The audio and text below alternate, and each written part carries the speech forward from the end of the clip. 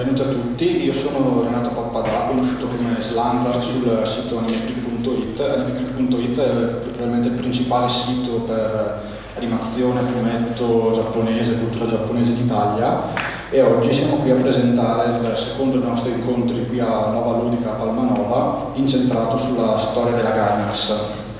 Allora, eh, questa foto, eh, per iniziare, è il gruppo originario che ha fondato la Gainax non chiedetemi chi è chi perché non lo so riconoscere, però nel 86 è stata, è stata fatta questa foto un anno dopo la fondazione della Ganex. Eh, vai avanti con le immagini. Il Daikon 3. Il Daikon 3 è dove è iniziato tutto. C'è una, una convention di fantascienza in Giappone chiamata Neon Science Fiction Taikai, che è una convention come le fiere italiane, però incentrata sulla fantascienza, in cui viene eh, dato il, il, famoso premio Sei, una delle migliori, migliori opere della fantascienza di quell'anno in Giappone e all'estero, e ci sono stand, ci sono proiezioni, insomma è una, un event per tutti gli appassionati di fantascienza giapponesi. Eh, la cosa interessante è l'organizzazione viene affidata agli studenti universitari del luogo, e questo festival viene organizzato in una città diversa ogni anno, tipo a Tokyo c'è il Tokon, a Osaka c'è il Daikon, eh, a Nagoya c'è il Meikon. Il Daikon 3 significa che è la terza, terza convention organizzata a Osaka eh, nel 1981 e l'organizzazione venne affidata a Yasuhiro Takeda e Toshio Okada, due studenti universitari del luogo molto appassionati di fantascienza cosa importante di questo, di questo Daikon 3 è che per la prima volta venne organizzato un corto di animazione per, come presentazione, un po' come sono le, alle Olimpiadi quando c'è la prima giornata con tutti gli spettacoli, una cosa del genere. E se ora mandi il primo video ve lo faccio vedere e poi vi spiego brevemente com'è nato. Ok, puoi tornare all'immagine di prima.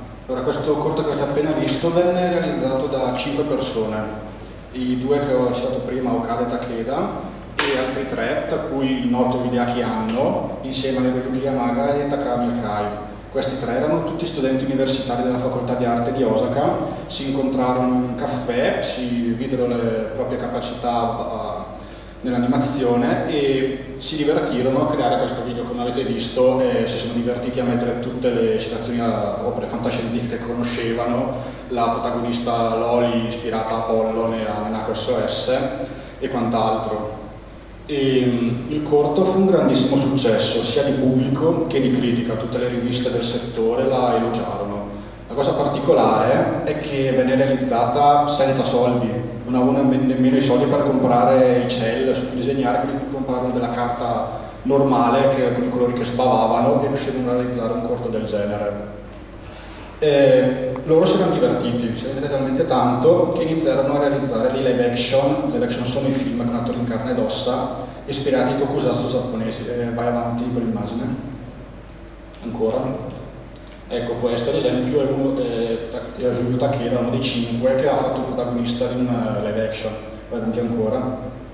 E questo è un altro live action ispirato a Ultraman, tra le altre cose, e vai avanti. Ecco, e la cosa importante che ci porta è il Daikon 4 tuttavia. Due anni dopo il Daikon 3 la manifestazione tornò di nuovo a Osaka e aveva avuto talmente successo quel corto che vennero chiamati stessi, lo stesso gruppo a organizzare la, la manifestazione e decisero di creare un nuovo corto di animazione. Tuttavia, a differenza di quello del, del Daikon 3, la situazione era molto cambiata. Grazie alla vendita delle, di gadget e dei video del Daikon 3 avevano ottenuto diversi soldi che gli permisero di comprare affittare uno studio vero e proprio e comprare una, il materiale decente. In più, eh, Hideaki Anno e Hiroyuki Yamaga vennero chiamati dallo studio NUE per realizzare le animazioni di Macross, una delle opere più importanti degli anni Ottanta, quindi avevano ottenuto esperienza sufficiente a migliorare le loro qualità di animazione. In più, durante la lavorazione di Macross si unirono Sadamoto e Maeda, altri due importanti membri dello studio, che aiutarono a realizzare un corto ancora migliore, che, che ora vediamo, è più bello del primo. Eh, manda il secondo video.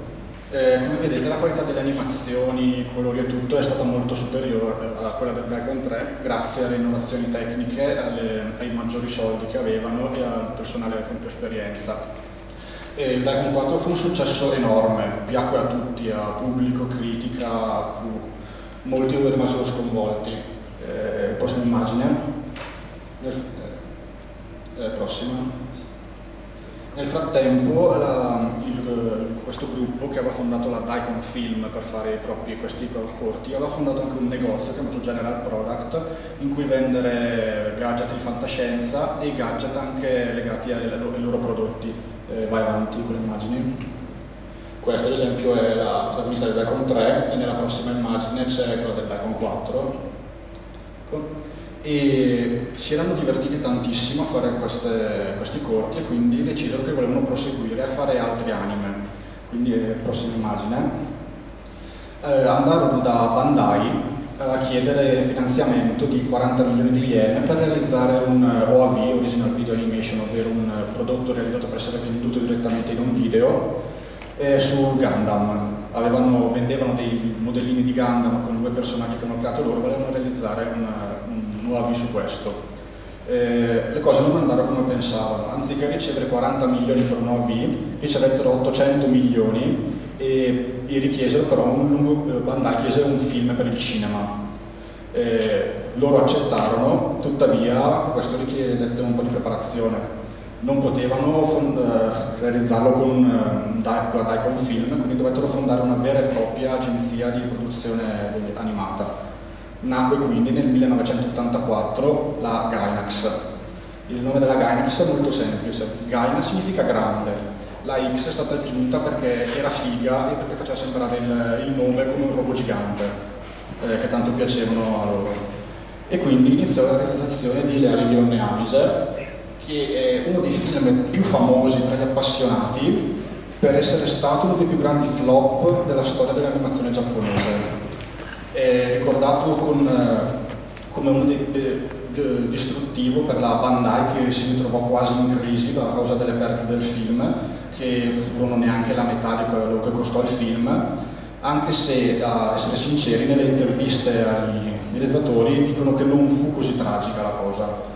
In ogni caso, la cosa importante di questo film è che tutti ora conoscevano questo gruppetto di persone, eh, Anno, Kada, Takeda, erano diventati famosi al di fuori del gruppetto degli appassionati che avevano visto, le, che avevano visto il Dagon 3 e 4. Eh,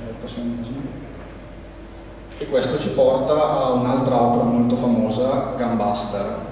Allora, dopo Neamise eh, avevano ricevuto dei lavori minori a cui realizzare tipo degli extra per i DVD di Appleseed. Tuttavia, band, sempre Bandai, nonostante il flop di Onneamiser, eh, fece loro una proposta molto interessante. Se fossero stati in grado di realizzare una serie per l'home video in grado di vendere 10.000 copie, loro l'avrebbero prodotta. Il risultato è Top Onerae, punta al top, Gunbuster. Anche qua ci furono diversi problemi, in quanto eh, i membri della Galaxy non riuscivano ad accordarsi su cosa fare. Per qualcuno doveva essere un'opera seria, per qualcuno un'opera con eh, robot e belle ragazze di divertimento. Finché non arrivò Hideaki Anno, che prese tutto nelle sue mani cancellò la sceneggiatura già scritta da Yamaga e rielaborò anche il soggetto originale. L'unica cosa che lasciò intatta fu il primo episodio. Eh, vai avanti con l'immagine. Ecco, la cosa importante di Gunbuster è che praticamente nel primo episodio è quasi interamente copiato da Ace Onerae, che in Italia è conosciuto come Jenny la tennista. Tanto che i personaggi sono, si può fare un parallelismo uno a uno tra i personaggi principali. Questa è la protagonista che non ha nessuna abilità particolare e ciò nonostante si ritrova a essere in, in Esonerae membro del club di tennis, in uh, Gunbuster uno dei piloti ufficiali della scuola a cui partecipa. Eh, avanti. Questa è la, la, la senpai, la Ojo Sama, che è il personaggio, eh, il mentore della protagonista, a la protagonista ambisce, che ha lo stesso ruolo in entrambe le serie. Eh, avanti questa è l'amica, del cuore, l'amica d'infanzia che non ha nessuna importanza per della storia ma sostiene la protagonista, anche qui c'è il parallelismo uno a uno. E avanti. Questo è l'allenatore che prende sotto la sua ala la, la protagonista, che vede qualcosa in lei nonostante fosse l'ultima delle, delle, delle novelline, e avanti. E infine questa è la rivale che viene accantonata, che perde il suo posto da titolare in favore della protagonista. Come vedete c'è proprio un parallelismo uno a uno tra i personaggi. Questo parallelismo si perde poi dal secondo episodio, quello che, in cui inizio a lavorare veramente anno, perché Gambasta prende una strada poi tutta sua. E vai avanti per l'immagine. Eh, Gambuster fu anche lui diede dei problemi di soldi, cioè vendette molto, ma a causa di idea che hanno eh, sforarono il budget in quanto decise di realizzare l'ultimo episodio interamente in bianco e nero. Differenza di quanto si può pensare, costava molto di più realizzarlo interamente in bianco e nero che a colori. Quindi si trovarono di nuovo in, eh, con problemi di budget. E poi arrivò questa, questa non la conoscete, è Princess Maker, è un videogioco Infatti, dopo la fine di Gunbuster, la Gainax iniziò a realizzare dei videogiochi, un po' sulle loro opere tipo Gunbuster, un po' su soggetti originali. Princess Maker è realizzato da Takami Akai, fu uno dei più grandi successi del, dei videogiochi giapponesi degli anni 90. Eh, vai avanti con l'immagine. In pratica è semplicissimo, cioè una, hai, una, hai, una, figlia che devi vestire, devi far partecipare a concorsi di bellezza e in base a parlarci, in base a quello che fai può trovare 74 lavori, per cui quelli belli come ministro o, o dire, sacerdotessa, quelli più brutti come prostituta o, o delinquente. E la particolarità di questo videogioco è che ebbe un successo enorme, fece guadagnare tantissimo la Gainax, quindi si iniziarono a creare due fazioni dentro della Gainax, quelli che volevano fare anime e quelli che dicevano ma perché non facciamo videogiochi che guadagniamo di più? E vai avanti. E questo ci porta a Nadia, che è, è probabilmente l'opera più importante a livello produttivo del pre-Evangelion della Gainax. Allora, uh, stavano iniziando ad esserci dei problemi interni nella direzione della Gainax, ovvero c'era Toshio Okada, uno di quelli che aveva fatto il Daikon 3, che era stato uh, nominato presidente della fondazione della Gainax e poi c'era un altro, Inoue, che era quello che era stato preso nella Gainax per la sua esperienza pregressa, aveva lavorato per la Tezuka Production e quindi era l'unico che aveva esperienza, l'avevano preso come consulente, eccetera. Questi due litigarono fortemente per chi doveva essere a capo della Gainax. Alla fine vinse Okada mettendo a, come presidente un suo amico, Sawamura. Tuttavia a Inoue questo non piacque e si vendicò, diciamo in quel periodo Group TAC, ovvero una ditta di produzione di animazione, contattò la Gainax per, per proporre la realizzazione di un anime che sarebbe andato in tv su NHK, per un anno. Inoue tenne nascosto la cosa alla Gainax e andò di nascosto a questi uh, TAC e NHK insieme a Sadamoto e Maeda che realizzarono rispettivamente una prova del character design, ovvero del design dei personaggi, e dello scenario di base. Ovviamente, come si può supporre, la cosa venne scoperta abbastanza presto e però ci si rese conto, discutendo all'interno della Gainax, che non c'erano soldi per realizzare un'opera del genere, cioè, sarebbe stata la fine della Gainax. Purtroppo però Group TAC aveva già, già dato inizio ai, ai, preparativi, quindi la Gainax non si poté tirare indietro, visto che Inoue, che rappresentava la Gainax in questi incontri, aveva accettato. Quindi la Gainax si trovò un po' costretta a fare quest'opera eh, a condizione che Inoue venisse mandato via, infatti Inoue lasciò la Gainax in quel momento.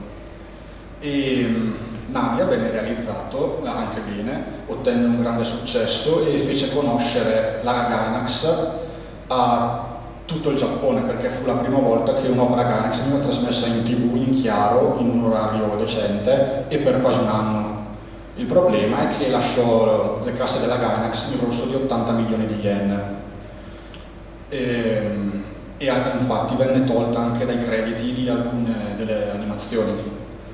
E questo fu un problema perché quando eh, venne realizzato il film di Nadia, Il mistero di Fuzzi, eh, Group TAC eh, chiamò ancora la Gainax e gli offrì 50 milioni di yen per realizzarlo.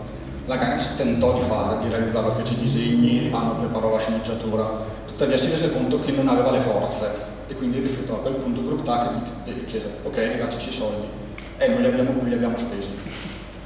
Fu solamente col successo enorme di Evangelion che riuscirono a risarcire questo debito. In ogni caso a questo punto gli 80 milioni di debito divennero 30, quindi un po' meglio. Però la Gainax si trovò costretta a proseguire con le opere di animazione per salvare questi debiti.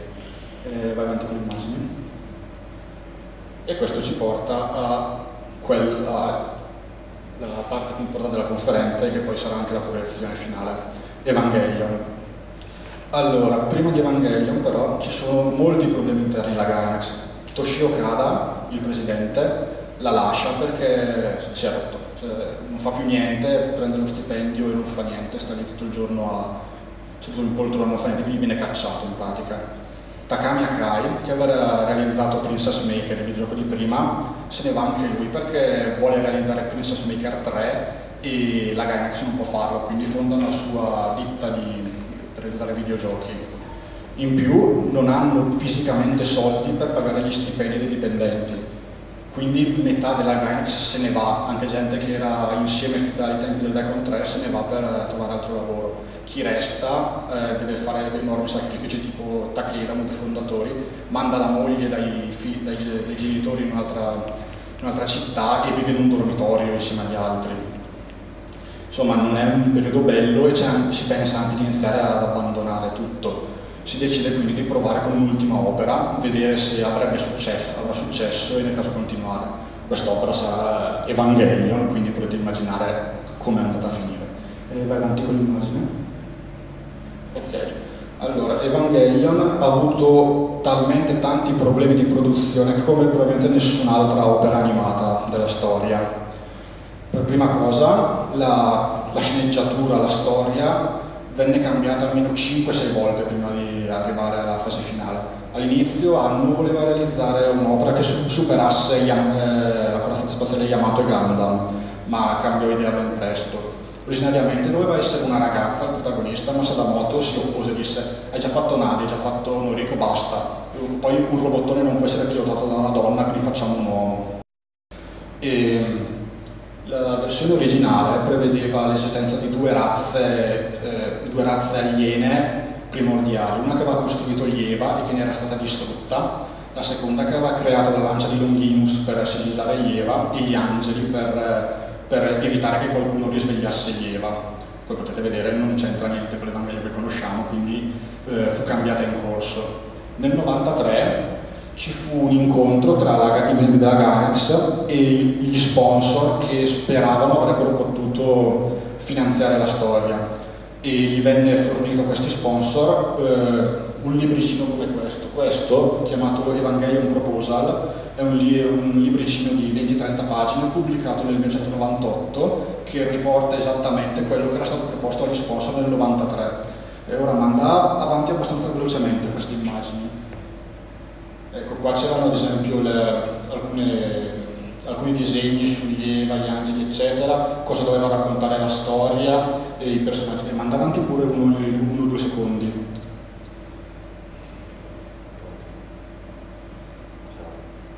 questo era il ciao originale dei personaggi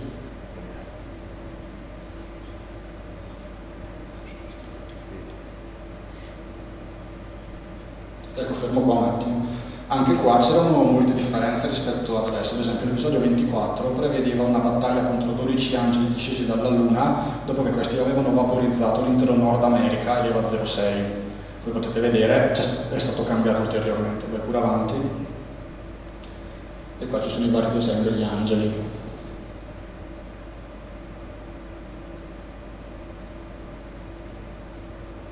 Ecco, fermo. Come potete vedere due angeli sotto non, non sono mai stati realizzati per la serie. E avanti. Ok, fermo qui.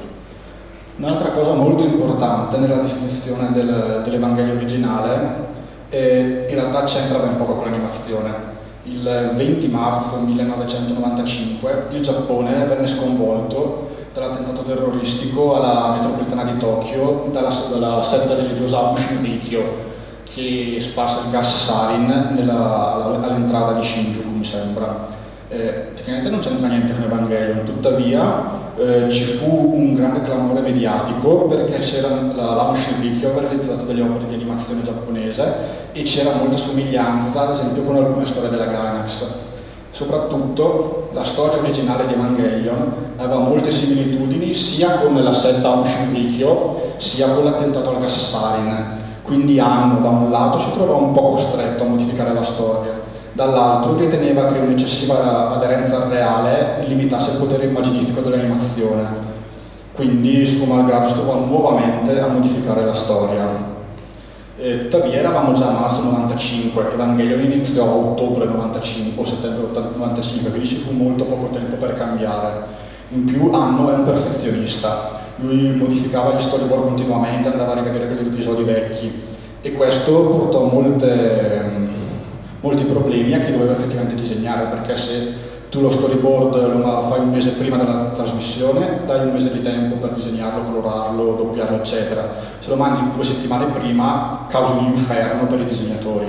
Infatti tutti hanno detto che la, la seconda parte di Evangelion, dal punto di vista produttivo, fu un inferno, sia per il tempo, come abbiamo detto, sia per i soldi, perché naturalmente la Gainax ha avuto problemi di soldi fin dalla sua nascita, sia per problemi di censura Infatti la, la libertà creativa di Anno venne limitata per due motivi. Prima di tutto King Records, che aveva prodotto la serie, aveva posto due condizioni a, per dare libertà ad Anno. Primo di non creare niente di Evangelion con altri, eh, con altri produttori, ma soprattutto non doveva morire nessun children. Gli adulti possono morire, i bambini no. E per questo ad esempio che Toji non muore ma perde solo una gamba e l'altro fu la PTA, la Parent Teacher Association, un'associazione che con abuso di notazione potremmo definire simile al nostro Moige, che si lamentò per l'eccessiva violenza di alcune scene, mi pare dell'episodio in cui viene distrutto l'Eva di Toji, e quindi Anno gli fu impossibilitato a usare scene troppo violente o troppo forti. O troppo forti. E vai avanti con l'immagine. Ecco, un altro problema fu la psiche di Hideaki Anno, che è molto molto malato. E infatti, eh, allora, come vediamo, ho fatto il parallelo tra Hideaki Anno e Shinji perché Shinji è esattamente Hideaki Anno come era al momento della produzione di Evangelion. Tutti i suoi disagi esistenziali, la sua paura, il suo desiderio di fuggire sono stati riversati in Shinji, tanto che ad esempio una, un incontro dello staff, si stava discutendo sull'episodio e dissero no, qua Shinji si comporta in modo troppo mascolino, idea che non farebbe mai una cosa del genere. Ma più in generale eh, Evangelion è stato eh, recensito, criticato, elogiato ovunque per infiniti motivi, c'è chi parla della calava, della cabala, chi della psicologia, chi dei profondi significati che ha. La verità è che Evangelion non ha alcun significato, Hannon non ha fatto quest'opera per il pubblico, per altri, non ha voluto trasmettere niente. Hanno ha fatto Evangelion per se stesso. Evangelion è la idea che Hanno stesso, la sua vita, la sua personalità, la sua psicologia. Lui ha riversato tutto se stesso in quest'opera, tanto che fine, alla fine della produzione eh, era vuoto, non c'era più niente dentro di se stesso, era un guscio vuoto, tanto che entrò in una profonda depressione, dovette farsi vedere uno psichiatra e tentò anche il suicidio. Eh, famoso l'aneddoto in cui si mm, mise sul tetto della Gainax per vedere se si sarebbe buttato o meno di giù.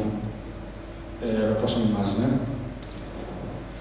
E altra cosa importante per, per il rapporto Anno-Evangelion, eh, bisogna citare un libro, Aito Gensono Fascismo, il fascismo dell'amore e della fantasia, un'opera di Ryu Murakami, che secondo anno c'è un profondo parallelismo tra lui e Murakami perché sono entrambi dei, dei falliti, degli uomini senza valore, dei eh, due ragazzi col complesso di Edipo. E infatti secondo anno quel romanzo di Murakami è pieno di complesso di Edipo, il complesso di Edipo è quello uccidi tuo padre per farti tua madre. E come potete vedere da questa immagine, eh, idea che hanno voluto creare in un complesso di Edipo eh, strutturato su più livelli. Shinji cerca sua madre, ma è, è, in contrapposizione col padre. Il problema è che non c'è una sola madre in Evangelio, c'è la madre biologica che è diventata robo gigante, ma c'è anche la madre stesso, della stessa età, anche lei opposta al, che è il legame col padre biologico, ma in più non esiste solo il padre biologico, ma esiste anche Adam, il padre degli angeli, che è in contrapposizione con Re e con, Leva. Quindi in pratica hanno voluto fare un complesso di Edipo su più livelli, per farvi capire quanto è malato hanno. Eh, prossima... Eh, abbiamo detto che Shinji Ikari è idea che hanno. Idea che hanno è eh, visto molto anche altri personaggi come Asuka e Misato ci sono un paio di aneddoti interessanti su Misato perché Allora, quella centrale conoscete che è Usagi Tsukino, la protagonista di Sailor Moon. Misato è quello che Anno crede che uh, Usagi sarebbe diventata a 29 anni, da un punto di vista grafico. Da un punto di vista caratteriale è ispirata a Noriko Hidaka. Noriko Hidaka è la doppiatrice di Noriko di The Gunbuster e Jean di Nadia, nonché il primo amore di Deaki Anno. In pratica Deaki Anno si era innamorato e alla fine di Nadia si era dichiarato dicendo che non era l'affetto, la, la, dire, la, passione che un otaku può provare per un idol, per un personaggio 2D, per il reale, ma l'amore vero, puro, sincero, genuino di un uomo per una donna. Eh, purtroppo venne rifiutato e con la motivazione che non, la, Noriko non voleva legarsi a un produttore di anime. In realtà poi si scoprì che non solo era già sposata, ma era sposata con un produttore di anime in ogni caso eh, Misato è caratterialmente Noriko Hidaka e graficamente eh, Sailor Moon. Eh, vai avanti. Altro personaggio fondamentale è Rei Ayanami. Eh, Hideaki Anno non è mai riuscito a capire Rei Ayanami. So che sembra strano detto dal regista della serie, però è così. E non riusciva a gestire, non sapeva come fare. Ad esempio questa scena in cui Rei sorride, eh, Dopo questa scena Anno pensava che Rai fosse finita, inutile, non servisse più niente, perché nel momento in cui Shinji e Rai riescono a comunicare sinceramente non c'era più significato di portare avanti Rai, tanto che se ne dimenticò. In un episodio non compare mai Rai proprio perché Anno si era dimenticato della sua esistenza. E, tuttavia, tempo dopo, dall'episodio 14, si trovò in difficoltà perché non riusciva a realizzare il mono, un monologo. E, gli, venne suggerito di leggersi un libro sulle malattie mentali perché Ray, nell'idea di Anno, doveva essere una schizofrenica. E Anno si lesse questo libro, trovò una poesia scritta da un pazzo che lo colpì tantissimo nel profondo, tanto che riuscì a scrivere il monologo di Ray del periodo 14 in un minuto. Il problema è che poi la, questa deriva proseguì talmente tanto che finì, come detto, in depressione. Eh, prossima immagine. Per, per, chiudere la serie di Evangelion, importante è il design degli angeli. Come vedete qua c'è una palla, una sfera di DNA, un virus informatico e una doppia piramide. Cioè non sono i cla classici nemici che uno vede, non è il robot, giga il robot gigante di Gundam o il mostro gigante di, di Mazinga. Questo, anche questo è colpa di Anno, della sua psiche malata, in quanto Anno l'indeterminatezza delle forme di, degli angeli eh, rispetta la l'incapacità di Anno di capire la società la, e la, il suo ideale di nemico è un nemico indefinito, informe, che sai che esiste ma non riesce a comprendere, così come lui non comprendeva la società. Più in generale, secondo Anno, tutta la sua generazione, a differenza della, della generazione precedente che aveva un nemico politico e straniero, avvertiva un'ansia, una solitudine interna che non riusciva a capire, sentiva, sentiva che c'era un nemico ma non riusciva a identificarlo e questo si è rispecchiato nel design degli angeli, infatti anche nella serie si sente i personaggi che dicono ma chi stiamo combattendo, cosa sono questi angeli, perché li affrontiamo, è tutta colpa del, di Anno. Ora con questo eh, chiuderei la, questa parte di, di conferenza eh, con una, un dialogo tra Miyazaki e Anno. Miyazaki aveva fatto i complimenti ad Anno per la serie di Evangelion perché l'aveva reso importante, una voce importante nella, nel mondo dell'animazione. Tuttavia gli disse, guarda adesso liberati dal fantasma di Evangelion, non puoi essere tra 10 o 20 anni quell'anno che ha fatto Evangelion. Hanno risposto, sì sì lo so, non preoccuparti, il, lo spirito maligno se n'è già andato, ora sto lavorando su uno shoujo, che sarebbe stata la situazione di lei. Ora però ha quest'anno c'è il ventesimo anniversario di Evangelion, sappiamo che Anno non si è mai liberato da questo fantasma. Nel 2006 ha annunciato il review di Evangelion, ovvero un remake cinematografico della serie, e ancora adesso, a 20 anni, sta lavorando al quarto film. Quindi ora vi lascio la proiezione di Evangelion 1.11 You Are Not Alone, che è proprio questa nuova versione di Evangelion che, che Anno sta realizzando.